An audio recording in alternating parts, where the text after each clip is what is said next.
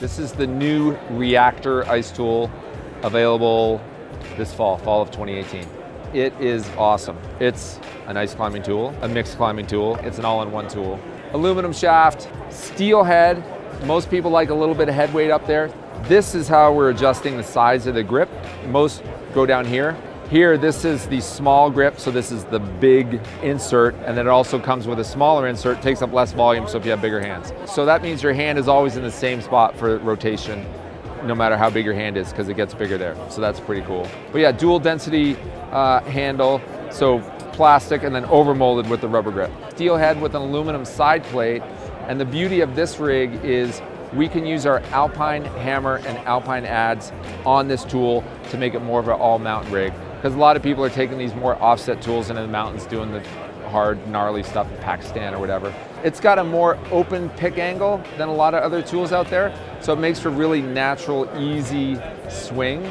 It's definitely not intended to climb your M14 Proj because it's gonna pop a little earlier, but grade three to grade six ice and up to M whatever, this thing is sweet. It also comes with a new pick. So this is a new pick called the Natural Ice Pick. Our old pick was called the Ice Pick. It's shorter here and thinner, so less volume, so it's basically easier in, easier out. Some of our other ice tools will also come with this pick for fall 18. So the combination of the steel head, the lower profile pick, the really open pick angle, lots of clearance, and the nice adjustable grip makes this rig super sweet for climbing ice or in the alpine. It'll come like this, with the natural ice pick and with the other, uh, the other insert here, depending on the size. And then if you wanted to add a hammer or an adze, that would be additional. It's called the Alpine hammer and the Alpine adze. That's the one beauty of BD picks is that we basically never changed our pick interface ever. So any pick that you have will fit on this. You could put a mixed pick that's got the teeth up here and it's a little burlier.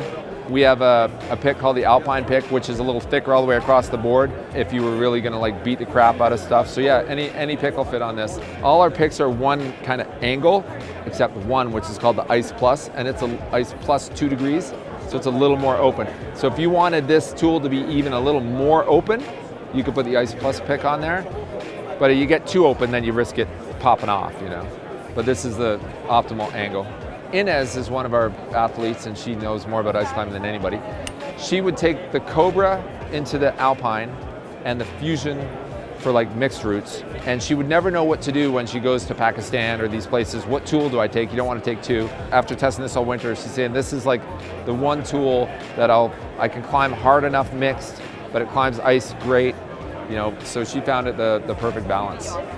We had a tool in the early 2000s called the Reactor and it was a really open pick angle, but it was a little ahead of its time with respect to being a leashless tool to climb ice. At that time, people were still using leashes to climb ice and using going leashless to climb mixed.